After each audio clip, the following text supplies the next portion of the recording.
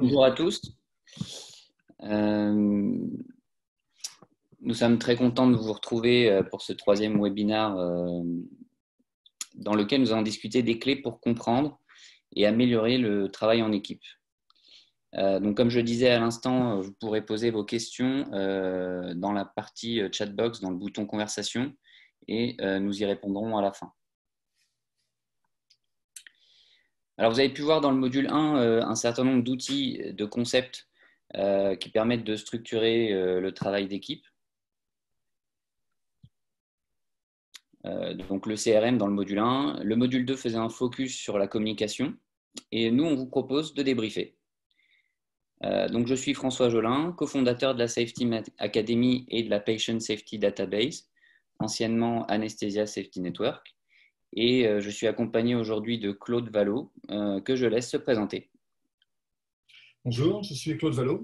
Euh, je suis sur un fond maritime, comme ça vous pourrez distinguer de François, qui est celui qui a le petit calot rouge. je suis un ancien chercheur de services de santé des armées sur des thèmes de facteurs humains et gestion de risque. je suis maintenant consultant sur ces mêmes thèmes. Je, conseille, je forme sur ces sujets avec entre autres en ce moment des sessions, en ce moment, excepte Covid, des formations facteurs organisationnels et humains, FOH, pour la PHP. Alors Claude, quel est le but euh, avec ce webinaire sur le débriefing? Ben, on voudrait vraiment vous expliquer puis vous convaincre hein, que si vous n'êtes pas encore, que les débriefings sont indispensables et maintenant plus que jamais. Euh, dans les situations tendues, euh, lorsque les, les, règles, les personnes, les pratiques se renouvellent rapidement, il est indispensable de pouvoir faire le point. Euh, ce qui vient de se passer, qu'est-ce qui a marché, qu'est-ce qui doit être changé, euh, quelles sont les erreurs à ne pas reproduire, euh, qu'est-ce qu'il faut transmettre à celles et ceux qui vont suivre. Donc il faut fixer les points importants pour tout ça. la question en fait est d'aller simplement à l'essentiel et c'est ce qu'on va parcourir ensemble. En d'autres termes, on, est vraiment dans l'idée, pour reprendre ce proverbe japonais là, non pas à, vous guider très strictement, mais à vous permettre de trouver les, les, bons poissons et de savoir comment les pêcher, comment on les trouve, d'après ce proverbe. D'autant que le débriefing, ce n'est pas un exercice simple. Hein. On n'est pas forcément habitué, par exemple, à dire ben, j'ai pas réussi à, ça a été difficile, à se présenter à son désavantage. Et puis, la, vie quotidienne ne nous a pas toujours habitués à, parler ainsi. Donc, c'est le débriefing est ce qui euh, a été dit déjà par Jérôme et Guillaume, si vous avez écouté, c'est une leçon, une aussi une occasion d'humilité et de partage. Hmm. Bah, dans ce module 3, on vous propose de mettre en lumière euh, les clés qui permettent de faciliter l'expression et l'analyse des débriefings. On va vous apprendre, entre guillemets, à pêcher les bons poissons pour débriefer efficacement en équipe. Pourquoi? Bah, Comme l'a dit Claude, dans cette situation inédite, c'est plus que jamais essentiel de débriefer. C'est probablement un bon moment pour prendre de bonnes habitudes pour maintenant euh, et pour après. Alors le débriefing, c'est commencer par prendre quelques minutes avec les autres pour mieux faire la prochaine fois lors de la prochaine garde, lors du prochain geste technique, la prochaine intubation, la prochaine pose de cathéter ou bien même la prochaine transmission pour s'améliorer individuellement et collectivement et éventuellement se sentir mieux dans le groupe. Mais avant de parler des briefings, revenons au Covid et à ses conséquences. Le Covid a tout bousculé. C'est ça le contexte. Toutes les habitudes, les facilités, les routines ont été bousculées. Et c'est bien cela qui donne de l'importance au débriefing et au retour d'expérience. On a fait face à de l'imprévu très déstabilisant. L'expérience est nouvelle pour tout le monde. La mise en œuvre du savoir euh, est nouvelle et le savoir lui-même est nouveau. Arrivée massive de patients, pas de traitement curatif, pas de protocole préétabli ou partagé. Euh, c'est quelque chose qu'on n'a jamais vu avant. Et en plus, on a une exposition au risque de contamination qui est potentiellement mortelle. La sécurité des soignants est impliquée. Alors moi, l'image qui me vient tout de suite, euh, c'est celle du bowling. Les qui, c'est l'administration, l'organisation, l'organisation des services, les personnes, les protocoles. Toutes ces qui, elles ont été frappées par cette boule et avec un facteur très inhabituel, celui que euh, on vient de dire, la contamination pour tous et potentiellement mortelle. Tout le monde a été impacté vivement et sans être prévenu. Face à cette situation, voyons les conséquences importantes à rappeler, Claude. Tu viens de dire qu'il y a eu un choc. Hein. Ce choc a eu des, conséquences, bien sûr. Les, quilles ont volé pour faire face. Les, murs, les murs ont été poussés, les lieux ont été redéfinis, les effectifs sont étoffés. Il y a eu des roulades des permanents, il y a eu des renforts d'autres services, des volontaires, des réservistes, et on, va le voir, les, spécialités se sont, se sont mêlées, les compétences aussi, les protocoles ont évolué, chacun a dû se les approprier dans un temps qui était court. Et comme les nouveaux matériels aussi qui sont arrivés, qui parfois sont, disparates, il faut apprendre tout ça. Oui, Claude, tout ça, ça a engendré pas mal d'émotions, euh, à la fois positives comme négatives, et c'est d'ailleurs bien ce que j'ai pu entendre ou lire dans les retours d'expérience. Euh, bah, par exemple, au début, on entendait pas mal, bah, personne ne sait vraiment comment ça va se passer. Il y avait pas mal de stress. Plusieurs d'entre nous disaient, euh, j'ai peur pour moi, pour ma famille, j'ai peur d'être contaminé. Et puis, au fur et à mesure, pendant la crise, j'ai souvent entendu, bah, on fait attention aux autres. Euh, mais j'ai eu aussi des retours assez difficiles. Par exemple, on n'a pas vu le chef, on n'a pas vu de la garde, ou encore les gardes sont devenus vraiment chaotiques. Un chirurgien s'est retrouvé à faire des soins infirmiers en réanimation et raconte je ne connaissais pas ce matériel. Globalement, ce qui a été commun aux soignants et aux administratifs, c'est que tout le monde découvre ensemble. Claude, d'ailleurs, pour en revenir au débriefing, j'ai un exemple à te proposer pour entrer dans les détails. Est-ce qu'on peut le décortiquer ensemble? Ah Oui, bien sûr. Je t'écoute, François. Ce serait une bonne occasion de débuter.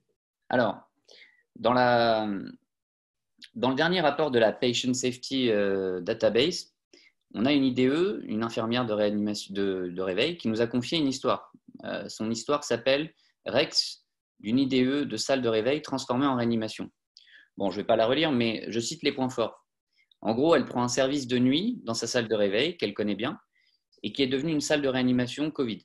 Son premier patient euh, est un patient Covid qui arrive par le SAMU. Le médecin avec qui elle travaille n'est pas non plus habitué à cette situation, et euh, ils vont expliquer, sans juger, euh, comment ça va se passer. Et il n'enduit pas de stress supplémentaire.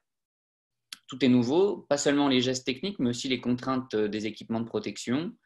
Et euh, sont nouveaux aussi les collègues qu'elle ne connaît pas, puisqu'il y a des gens qui sont venus aider. Et elle dit, euh, il faut les aider et se souvenir de se protéger tout le temps. Il y avait une difficulté à, vraiment garder ça en tête, de se protéger vraiment tout le temps. Eh bien, mon petit François, tu prends ta canne à pêche et on va chercher les poissons. Qu'est-ce qu'elle nous, explique, cette idée, en fait? Elle nous dit que malgré les tensions et le facteur déstabilisant, elle est restée du bon côté euh, de cette tension, par l'attention aux autres, par la, bienveillance, la, conscience d'une situation particulière. On y sent très directement une attitude concentrée, mais plutôt sûre d'elle-même et du collectif qui l'entoure, quelle que soit la fonction et l'expérience des personnes, en fait. Hein, elle cite ces, différents, ces différents acteurs. Et si on prend l'image des quilles, en fait, euh, on voit bien qu'elles ont plutôt été redressées, ces quilles. C'est pas gagné d'avance. Hein. Euh, les choses auraient pu facilement se passer autrement. Cette nuit-là, une cohérence, une force sont vraiment installées. Mais il n'y avait rien d'évident à ça. Ok, mais en quoi ça adresse les quilles? Eh bien, voilà, on, va regarder l'éventail du poissonnier. Regarde, les, euh, les mots de l'IDEA décrivent clairement ce qui a contribué à fédérer ce groupe. C'est comme l'avait déjà évoqué Guillaume et Frédéric dans le premier webinaire. On ne se connaît pas tous, alors il faut s'entraider et se considérer. Chacun est confronté aux nouveautés, il faut partager les savoirs sans juger, il faut tirer profit des erreurs, transmettre des stratégies efficaces. Toutes les tenues de protection face au Covid modifient les durées, les gestes, les habitudes. Il faut tout organiser en anticipant ces difficultés. Ce qui est fortement ressenti dans ces propos est le, le degré d'empathie entre les membres de ce groupe. Ça limite le stress, c'est une réassurance confortable. Elle ose même le mot erreur, qui est souvent tabou dans le monde hospitalier ou médical. On peut tirer les enseignements de ces erreurs, les récupérer, les anticiper. Et notoirement là, elle n'était pas vue comme une dévalorisation personnelle ou comme une faute. C'est vraiment ce qu'elle nous dit. Hmm. Hmm. Bah, tu vois, ce que tu dis, ça correspond bien à, ce qu'on peut voir sur le terrain. Hein. Et puis, dans certains endroits, là, si on regarde un peu les images, euh, bah, on, voit effectivement du, contrôle croisé, de l'aide pour s'habiller. Euh, on prend le temps de se parler. Euh, là, ici, bon, c'était dans la dernière newsletter, mais on a vu aussi sur les réseaux pas mal de gens s'identifier. Et j'en profite pour rappeler le challenge lancé qui consiste à s'identifier plus clairement avec le hashtag ton nom, ta fonction. J'ai vu dans le public pas mal de promoteurs aussi de ce, challenge. Et puis, dans le REX, elle dit, ce qu'on n'a pas dit tout à l'heure, mais elle le dit, hein, prendre le temps de chouchouter les patients. Et finalement, Claude, tu vois, la technique, évidemment, elle est indispensable, mais euh, je me rends compte que ce qui fait que ça marche bien, c'est le nom technique. Qu'est-ce que tu en penses? Tu n'es pas d'accord? Euh, oui, ils avaient des, bien sûr de la technique à maîtriser, des outils, de la technique à comprendre, des protocoles à acquérir, mais c'est en fait le non technique hein, qui est apporté comme dominant. C'est ce qu'elle nous rapporte. C'est ce qu'on qualifie aussi, tu sais bien, de, facteur humain. C'est tout ça. Parce que là, Claude, c'est vraiment un retour d'expérience que je trouve plutôt sympa. Euh, mais j'ai connu, des co-internes qui me diraient là, c'est ambiance bisounours. Euh, j'ai lu des choses, j'ai entendu des choses qui étaient beaucoup plus difficiles. Euh, par exemple, là, ce retour d'expérience, si on regarde, euh, donc ça, c'est un retour d'expérience qui sera publié dans la prochaine newsletter. On voit que ça n'a rien à voir. Euh, si on lit, prenons le temps de lire euh, quelques instants. À chacune de mes gardes de nuit, j'ai la boule au ventre. On est tous mal. On ne sait pas ce qui va se passer. La carte de proximité est partie, on ne la voit plus. Les autres, c'est pas mieux. Ils, ne connaissent, ils ne connaissent pas le service et on ne les voit jamais. Ils ont été parachutés sans qu'on leur explique rien. Ils ne connaissent personne ni le service. Rien n'est organisé en commun, qu'il s'agisse des paramètres ou des médecins. Le planning est très mal fait et ça retentit énormément sur ma vie de famille. On s'en sort pas trop mal, mais à un prix considérable dont nos chefs ne se rendent pas toujours compte. La peur est permanente, il n'y a pas d'effort fait pour que cela aille mieux. Après le Covid, je suis sûr qu'on va être nombreux à demander une mutation ou à démissionner. Là, on voit bien un retour d'expérience euh, poignant où on perçoit la détresse. On est dans une toute autre ambiance. Mais tu as raison, on est bien l'opposé du précédent témoignage en fait. Hein. Et reprenons encore nos, gros poissons, il n'y a, pas d'anticipation. Il y a des difficultés à venir, il n'y a, pas de coopération organisée, chacun se débrouille comme il peut, on ne sent aucune stratégie quant, au soutien des personnes. Et ça serait en quelque sorte un encadrement qui pense que la technique va suffire et que le non technique, ça n'existe pas. Peut-être même d'ailleurs ignore-t-il l'existence de ces dimensions. Et puis, euh, il me souvient bien que le, témoignage aussi évoquait une chose qui est importante à pointer, c'est que au fond, il y avait un conflit de chef hein, entre deux services qui avaient été, pendant le temps de, faire face au Covid, qui avaient été fusionnés. Mais là, ce conflit, en fait, a fait qu'il n'y a pas eu de, réorganisation euh, vraiment bien faite. Et le responsable intermédiaire, d'ailleurs, tu le pointes bien, il flotte, hein, on va dire ça comme ça. Et ce système est donc rendu euh, fragile. Et là, pour le coup, les quilles ne sont pas redressées, elles demeurent tout à fait vacillantes. Hmm. Bon, oui, alors c'est vrai que j'entends souvent, c'est un point d'ailleurs que je voulais voir avec toi, j'entends souvent parler de résilience, mais c'est vrai que là, on voit deux contextes différents. Euh, lesquels sont les plus résilients finalement? Est-ce qu'on peut faire un petit point là-dessus? Bah, on va reprendre un peu de, peu de distance. Si la résilience, c'est la, capacité à, disposer de, réponses adaptatives dans des pires conditions. Euh, savoir anticiper les problèmes que l'on peut rencontrer, les réponses à ces problèmes, euh, organiser la coopération, le partage d'expériences, de manière à ce que chacun se sente euh, rassuré et, des objectifs. Mais là encore, adaptatif, hein, c'est vraiment ce qui constitue quelques-unes des fortes bases de cette capacité. Mm. On, voit bien que les personnels du second cas ils vont difficilement mobiliser ces bases ils vont s'épuiser en incertitude, en conflit, en action vaine. Il n'y a pas la force et le soutien du groupe pour faire face. Il y a aussi évidemment un manque d'empathie, hein, la tentation du chacun pour soi, l'anxiété continue euh, qui pourra tout à fait aller jusqu'au burn-out. Et à coup sûr, ça ne permettra pas de surmonter durablement les tensions du Covid. D'ailleurs, ils le disent, hein, dès qu'on peut, on quitte ce lieu. Et d'ailleurs, probablement, certains l'ont déjà fait, ce qu'on ne voit plus. Ah, voilà, ça m'amène à te demander, finalement, quand on est dans un endroit qui est déstabilisé par le Covid, et ça, ça ne manque pas, mais qu'on n'a pas ces facteurs de reconstruction. Comment on fait? Eh ben, On va prendre un peu de recul. On va, on va reprendre le premier exemple, le cas positif. Cette idée nous dit que dans ce groupe, elle ressent et bénéficie des comportements associés aux valeurs euh, présentées dans le cadre en marron qu'on a mis à droite, hein, euh, les valeurs pour la reconstruction. Euh, il y a de l'empathie, il y a de l'entraide, il y a de l'écoute, il y a du partage. Et pour, que ces comportements soient se manifestent, qu'ils soient valorisés, il faut vraiment que ces valeurs soient communes au plus grand nombre dans ces groupes. Et je suis tenté de penser que ces valeurs, elles ne sont pas apparues magiquement avec le premier patient Covid. Elles étaient déjà actives, elles étaient présentes. Ils n'ont pas appris ce jour-là à, s'écouter et à être, à être empathiques. Et ces personnes, en fait, ont puisé dans des, manières de faire qui s'étaient déjà avérées puissantes auparavant. Donc, si on avance un peu, eh ben, ce sont vraiment des valeurs qui s'imposent dans le groupe avec un objectif qui est celui de la réussite de tous. Euh, ce n'est pas celle de quelques-uns, mais celle de tous, celle du groupe donc. Et lorsque du temps est consacré à l'anticipation des problèmes et à leur partage par des briefings et des briefings, euh, que ces activités ne sont pas vues comme des pertes de temps, comme on l'entend trop souvent, ben, c'est qu'effectivement chacun a conscience des contraintes et charges qui pèsent sur les autres et que comment faire pour que les, tel ou tel ne soit pas submergé, que l'on puisse euh, fonctionner correctement ensemble. Donc, tout groupe peut partager les, valeurs comme celle-ci. Et ce qu'on voit le plus souvent, c'est que le leader est généralement la personne la mieux placée pour énoncer et faire vivre ces valeurs, quelle que soit la taille du groupe. Autrement dit, François, tout ça est une mise en pratique d'une culture de sécurité qui rassemble les professionnels de santé présents pour le partage, la coopération, le soutien, le retour d'expérience, la mise en commun, évidemment. Bah, oui, c'est vrai que là, la culture de sécurité, ça peut sembler abstrait euh, un peu pour certains, euh, mais là, on comprend bien, c'est assez pratique. Euh, on comprend bien à quoi ça correspond. Et finalement, qu'il s'agisse d'un service, d'une équipe au sein d'un bloc opératoire ou d'une unité de réanimation, ou bien même d'un groupe de soignants qui s'apprêtent à mettre un patient en DV, situation d'ailleurs où il, ne peut, il peut ne pas y avoir de chef, hein, ça arrive dans pas mal de structures privées. en fait, cette histoire, c'est vrai, quelle que soit la taille. On a besoin de ces valeurs pour produire la coopération et le soutien. Donc finalement, si je récapitule ce qu'on vient de voir, on est parti, euh, on est parti euh, d'en bas à droite, mais tout vient de l'esprit et de l'ambiance insufflée euh, au sein du groupe par un leader.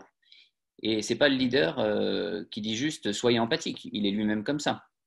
Ceci dit, je serais curieux de voir comment, comment tu viens décrire, comment ce que tu viens de décrire s'applique à un cas difficile comme notre second exemple, qui quand même décrit une ambiance beaucoup plus dure. Ben, d'accord, on va, reprendre les mêmes, euh, points. Euh, on va commencer par l'autre côté cette fois. On va commencer par le, côté du leader. Le, rôle du leader, quel qu'il soit, euh, il est double en fait. C'est organiser et prendre soin. S'il est défaillant dans ses rôles, le leader, s'il n'organise pas et ne prend pas soin de l'équipe, ça ne marchera pas. Son objectif est plutôt, dans ce cas-là, sa réussite personnelle. C'est Dark Vador que tu vois tout à fait à droite, hein, sur cette image qui illustre ses propos. Euh, son, équipier n'a pas été à, la hauteur de ce qu'il souhaitait, bah, il va disparaître. C'est interchangeable. Il y en a d'autres. C'est du consommable. Et par exemple, pour mettre le patient en DV, si on a un leader qui dit juste dépêchez-vous et faites mieux que la fois dernière, il n'explique rien, il ne dit pas comment bien faire, il ne prend pas en compte les contraintes des uns et des autres, les difficultés, il ne protège de rien, ni le groupe et en plus, euh, ni le patient. Euh, donc ce qui importe, c'est que ces valeurs qui unissent les personnes soient présentes et actives. Chacun a son niveau d'activité, peut les appliquer. Par contre, c'est dommage lorsque les leaders de plus haut niveau n'en donnent pas l'exemple. C'est vraiment ça l'essentiel. Cela veut dire que la réussite de tous est devenue la réussite du chef, qui a son service qui tourne, sans souci de savoir à quel prix ce service peut bien tourner. Hmm. je connais bien Dark Vador, effectivement. Euh, quand je t'entends, Claude, j'ai l'impression qu'en fin de compte, euh, un leader qui, qui prend soin va aussi inciter à faire des débriefings. Est-ce que j'ai bien compris?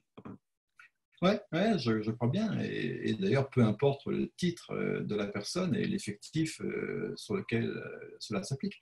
Une des façons de prendre soin est de réaliser, comme lorsque c'est nécessaire, des débriefings. Il y a une invitation au débriefing qu'il faut vraiment qu'on encourage, quelle que soit la taille du groupe et l'ampleur de ses actions entre collègues pour une tâche, pour une étude centrale, comme tu l'as plusieurs fois cité, qui peut avoir été compliqué après avoir vécu une nuit dense avec beaucoup d'événements difficiles ou pour faire un point dans le service.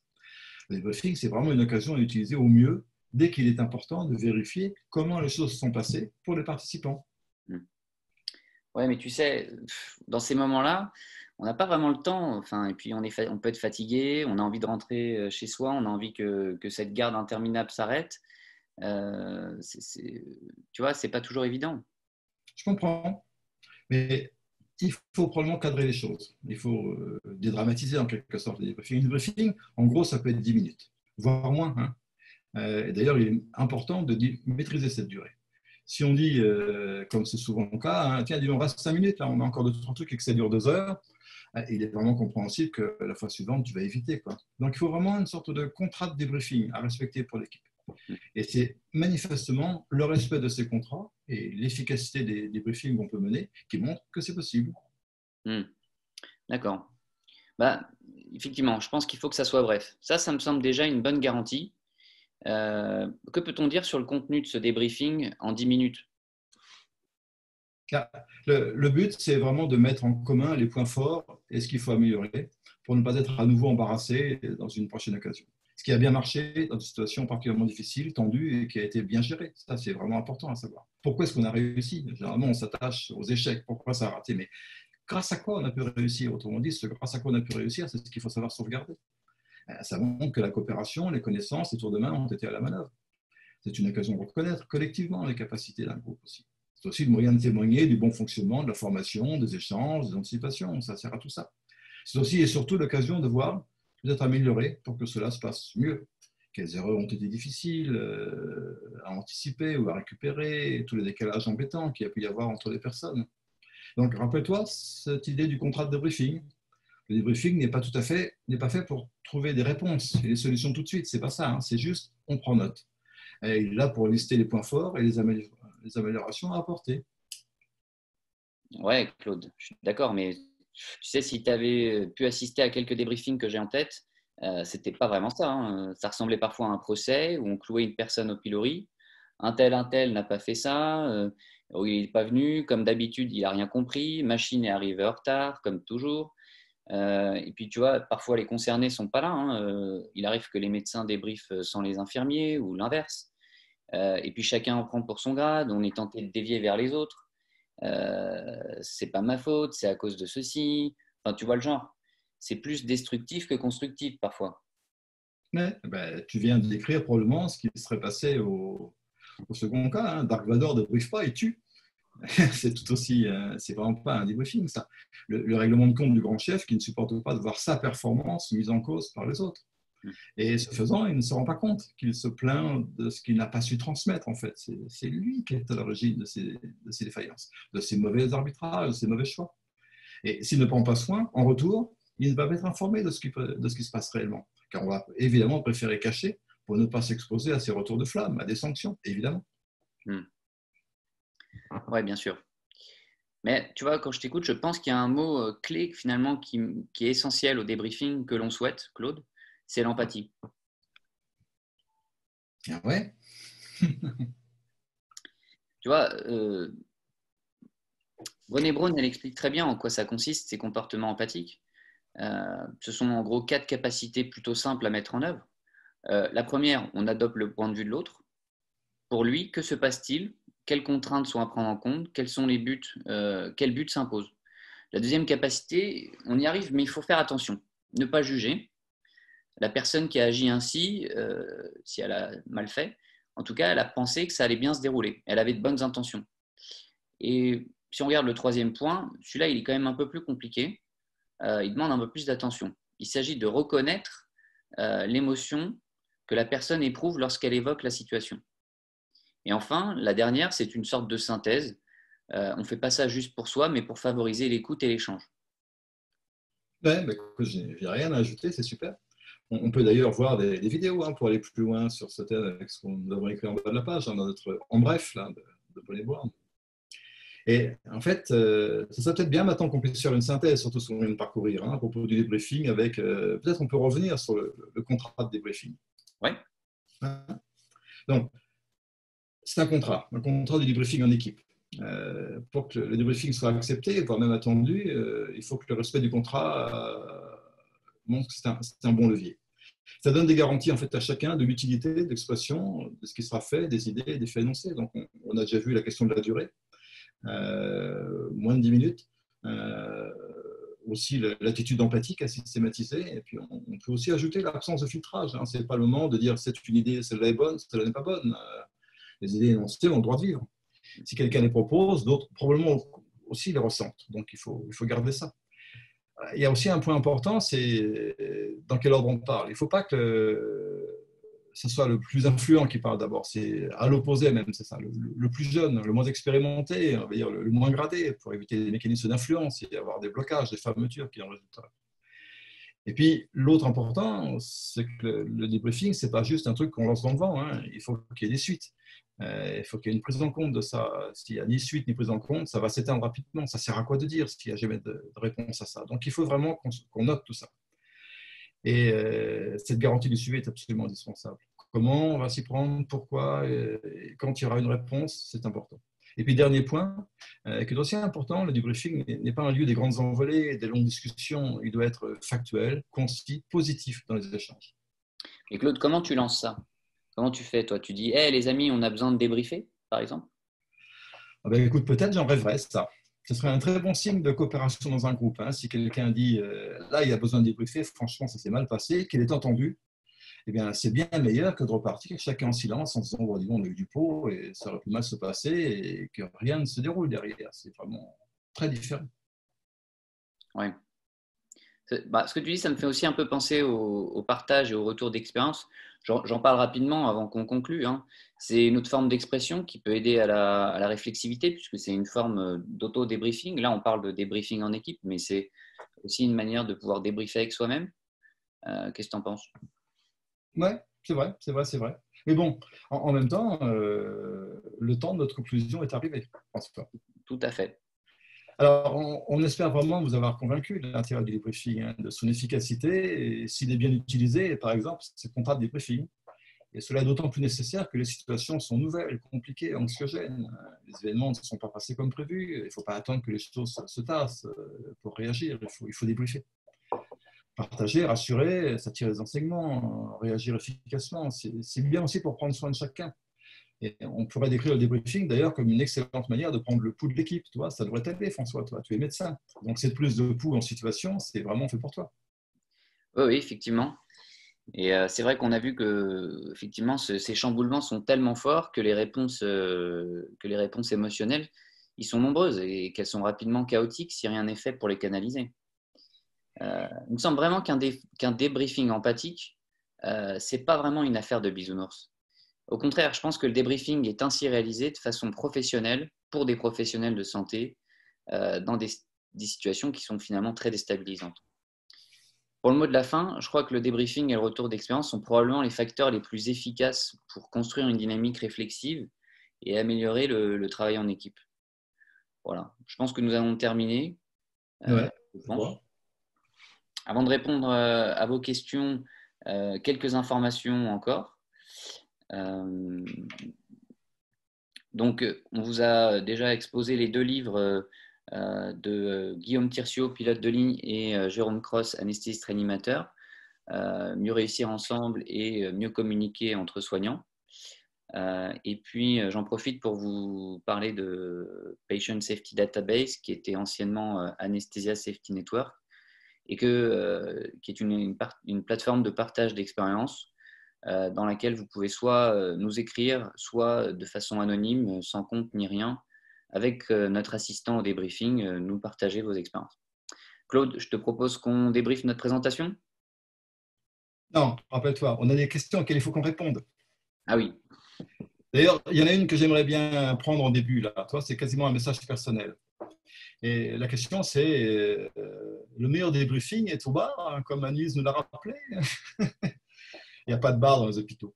Mais ce n'est pas pour autant qu'il faudrait mettre un bar dans les hôpitaux. Mais c'est vrai qu'à tout le moins, et c'est une des façons, toutes les occasions sont bonnes pour faire un débriefing. Si effectivement l'occasion n'a pas été celle de la, de la clôture euh, d'une action, après tout, euh, quelques heures plus tard, le lendemain, euh, revenir sur ce qui s'est passé, c'est bien.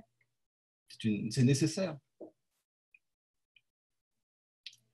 Une autre question? Il y en a une qui vient derrière. Est-ce qu'un leader informel peut, compenser l'absence du leader, de leadership du leader officiel?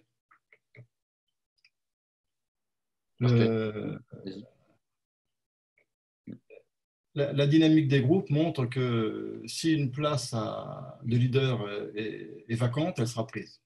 Autrement dit, si celui qui est le, leader en titre formel n'a pas, pas la compétence ou est absent, peu importe après tout, euh, qu'un leader informel prenne la place, c'est une nécessité absolue. Il faut bien effectivement euh, que ce rôle soit tenu. Pour autant, que ce n'est pas quelqu'un qui va tenter de tirer la couverture à lui avec une sorte de mécanisme de déviance, un peu à la, une sorte de, de Dark Vador à la toute semaine. Euh, il faut que ce soit vraiment quelqu'un qui soit euh, tout à fait euh, pétri de cette importance de l'échange, de, la coopération, de l'empathie. C'est une absolue nécessité. J'ai une question de Jérôme qui a été posée. Comment gérer l'absence de leader désigné dans une équipe horizontale, par exemple un groupe d'associés dans une clinique privée? Donc là, on est dans des situations où effectivement il n'y a pas d'autorité clairement défini où on a un chef de service. Euh, néanmoins, ce qu'on a, c'est toujours euh, un groupe dans lequel il y a une dynamique et où un leadership va être, euh, peu émerger de manière informelle. et comme on l'a dit tout à l'heure, dans un, dans un bloc opératoire, finalement, au moment où une situation se produit, probablement que la première question à poser, c'est qui est le leader? Et c'est d'ailleurs souvent ce qu'on voit dans les fiches d'aide cognitive de mmh. situation de crise. Pour le débrief, le leadership peut être tout simplement euh, porté par celui qui dit Hé eh, les gars, est-ce qu'on ne pourrait pas débriefer? Qu'est-ce que tu en penses, Claude? Oui, je, je, pense que c'est une nécessité que de, d'habiter ce, ce rôle-là. Mm. Euh, ce qui serait en fait le, le pire, c'est que ce leadership soit vacant parce que personne n'ose. Euh, en pensant que si quelqu'un emprunte ses habits du leader, euh, les autres pourraient en vouloir parce que mais qui est-il pour ça? Quelle légitimité a-t-il? Il me semble vraiment que euh, dans ce type de groupe, il faut une culture un peu globale, celle de sécurité, qui dit mais on a besoin de ça. Ça peut être tournant, peu importe, on s'en moque. Il faut vraiment que quelqu'un puisse euh, le poser D'abord parce qu'en fait, une des valeurs, là on parle plutôt du Covid, mais en fait on a une autre valeur qu'on pourrait euh, tout autant euh, diffuser parce qu'elle est aussi dévastatrice, c'est celle de la sécurité du patient. Euh, on a tout le temps besoin effectivement d'avoir une réflexion sur l'amélioration de ce qu'on peut faire sur la sécurité du patient. Et c'est forcément quelque chose qui amène à des cultures communes, si on le fait bien. je vois aussi une remarque d'un pilote de ligne que je connais qui dit l'absence de débriefing est plus dommageable que l'absence de leader. Donc, euh, effectivement, on voit que dans les, euh, on voit que dans les cockpits, d'ailleurs, le débriefing est quelque chose d'extrêmement euh, habituel. Hein. C'est presque une formule, de, une formule pluricotidienne. Hein. Le débriefing minute, le briefing, le débriefing après le décollage, le débriefing après tel cap. J'ai une autre question qui m'est posée, c'est pourquoi fait-on si peu de débriefing? Et je, je, trouve cette question intéressante par rapport à celle euh, par rapport à la remarque euh, d'un pilote, effectivement, où ils en font beaucoup. Pourquoi on en fait, pas, pourquoi on en fait si peu, d'après toi, euh, Claude? Le monde, qu'il soit public ou, privé, hospitalier, comme il n'a pas vraiment investi les facteurs humains, il n'a pas vraiment non plus investi cette question de l'intérêt et l'obligation quasi du leader. vous êtes dans des, des rapports de tension, de pouvoir, d'autorité, qui euh, stérilisent en quelque sorte l'idée de leader et de débriefing. Euh, entre les chirurgiens, les anesthésistes, les ceci, les cela, qui est, euh, qui est en titre. Il y a des métiers qui sont plus clairs là-dessus. Il y a quelqu'un qui, pour une certaine activité, est en quelque sorte l'animateur, le leader en titre. Vous n'avez pas ça.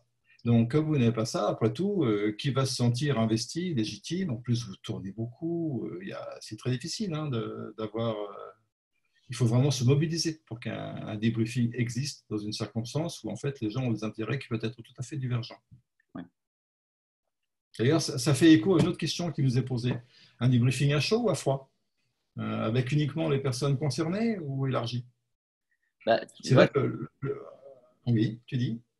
Non, euh, tu vois, c'est amusant parce que dans un des commentaires, il y a déjà une réponse euh, à cette question du débriefing à chaud ou à froid, euh, puisqu'il y a voilà, quelqu'un qui dit en ce mur, avec certains leaders, donc encore une fois, on voit que ce n'est pas tout le monde, mais qu'il y a déjà des gens qui ont l'habitude et la culture, on débrief après chaque intervention, donc on est déjà dans le show, euh, pas la fin de la garde, et même les plus courantes. Et ce qui est intéressant, c'est qu'effectivement, il n'y a pas besoin d'attendre d'avoir une situation catastrophique, un accident, euh, en fait, on peut débriefer un truc qui s'est bien passé aussi. Parce Exactement. que, comme le dit la personne, c'est toujours pertinent. On, retrouve, euh, on, retrouve euh, ce qui a marché, on retrouve, ce qui est, on retrouve les ingrédients de la réussite. Hein, c'est un terme qui, qui, te parle. Oui, et ça, c'est une autre, une autre approche à la question. En fait, il y a, les deux ont de l'intérêt. Le débriefing à chaud a, de l'intérêt parce que les, les, gens sont là. Ça vient de se produire et il est immédiatement possible de dire ouais, on s'est super bien débrouillé sur ce coup-là, c'était pas facile, mais manifestement, on a trouvé le bon truc. Sachons le garder. Et puis euh, aussi de dire, ben, on a eu des soucis, on a eu ceci à cela, on attendait, ça n'a pas marché, bref, je ne sais quoi encore. Et puis, il peut y avoir, et c'est pas tout à fait le même debriefing, peut-être plus élargi, euh, se dire, ben, on a vécu X situation, X temps, ben, faisons un point, il semblerait qu'on ait quelque chose d'un peu difficile qui se répète. Parce que le débriefing à chaud, il ne parlera que de la situation ponctuelle qui vient de se dérouler. Mais euh, les affaires, par exemple, de, Covid, ça dure des semaines. Donc il y a des choses qui vont, et puis ça change, il y a des choses qui vont se répéter au long de ces semaines. Donc il faut bien un autre type de briefing. Et il me semble aussi de voir celui-là, euh, aussi avoir un contrat. Une bonne partie des règles sont les mêmes. Par contre, 10 minutes, il se faut que ça ne suffise pas dans ce cas-là. Quand on fait un point plus profond, euh, mais quand même, bien distinguer l'étape du, du retour et celle qui va être euh, à l'opposé, euh, celle de la construction des réponses. Mhm. Et justement, quand tu veux faire quelque chose de plus long, quelqu'un demande est-ce que les RMM finalement ne sont pas des débriefings? Moi, j'aurais pas. Euh, qui, est, absent du RMM bah, c'est ça la question, c'est qu'en fait, souvent, ça dépend. J'aurais envie de répondre si tous les participants sont présents. la RMM est probablement plus qu'un débriefing, puisque on va chercher, euh, on va chercher des causes euh, systémiques, on va chercher des choses plus profondes. Euh, quand, on a, quand on a énoncé le, contrat du débriefing, finalement, le plan, c'est point positif, point d'amélioration. Alors, c'est sûr qu'une RMM peut être conduite avec ce plan, mais c'est vrai que le contrat des 10 minutes risque d'être compromis. Une RMM, ça prend en général plus de temps.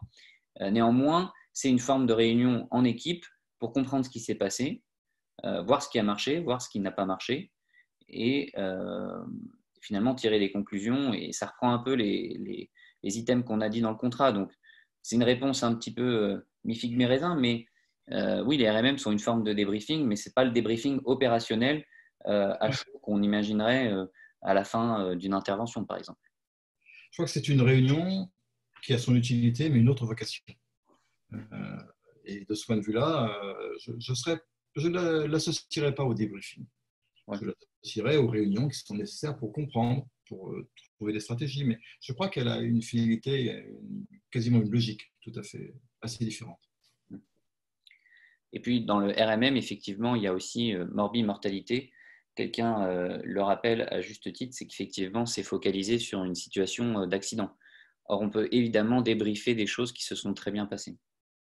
Et oui, c'est bien ce qui était évoqué à propos du SMUR. On, s'en est bien dépatouillé. Euh, ouais, c'est juste pour vérifier que ce n'est pas seulement parce qu'on est du pot, mais qu'on a bien trouvé les manières de faire et qu'elles doivent être euh, renforcées, valorisées pour ce qu'elles sont. Alors j'ai une question qui m'est posée euh, en privé. comment débriefer avec quelqu'un avec qui on est en conflit? Bon, c'est une, une, vraie question. Euh, effectivement, des fois, on ne choisit pas avec qui on travaille. Il y a des gens avec qui, euh, malheureusement, on, ne s'entend pas toujours. Euh, je pense qu'il faut garder malgré tout une approche empathique.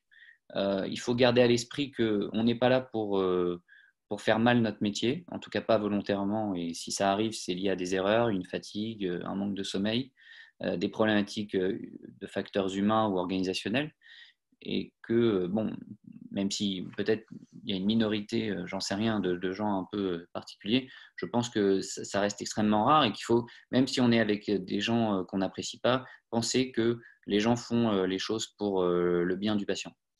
Si c'est compliqué d'échanger, de, communiquer parce que le conflit est vraiment latent, je dirais qu'une des réponses efficaces est souvent de rechercher un juge de paix, une personne dont la légitimité soit reconnue et à laquelle on demande un, arbitrage, ce que certains appellent un médiateur.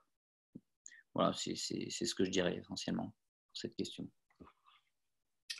Il y, a, il y avait une autre qui était, qui était posée, euh, qui était un, manager a-t-il plus d'outils pour mieux débriefer qu'un leader? Oui. Euh, alors, pour le moment, il y a des questions de définition derrière tout ça, en fait. Hein. Euh, je, craindrais dans l'idée du manager quelqu'un qui est plus distant de la, réalité du terrain.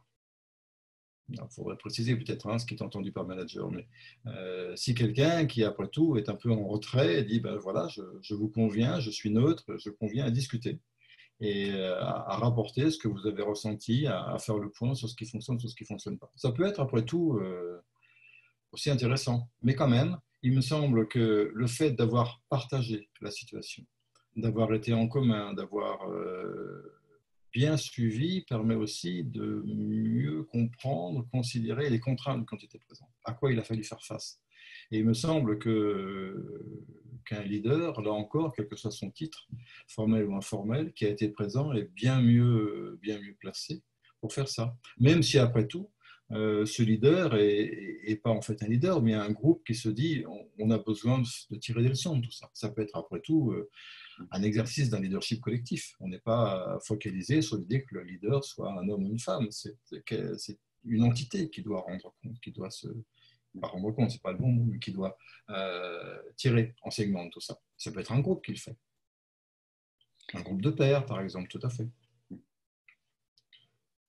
Alors, il y a, il y a juste un, un, point que je voulais ajouter, puisque j'entends aussi de parler de formation à l'animation de débriefing. Alors, c'est vrai qu'il existe des formations euh, au débriefing. Je, veux juste rappeler un point que j'avais euh, trouvé très intéressant. Euh, et, il me semble que c'est lié à David Gaba, un des inventeurs de la simulation, qui disait en fait que la simulation n'a d'intérêt, enfin évidemment c'était une, c'était une phrase un petit peu simplificatrice, mais euh, n'est là que pour débriefer. Euh, et qu'en fait, effectivement, on débriefe probablement plus facilement dans un contexte euh, qui n'implique pas, enfin, dans un contexte de simulation.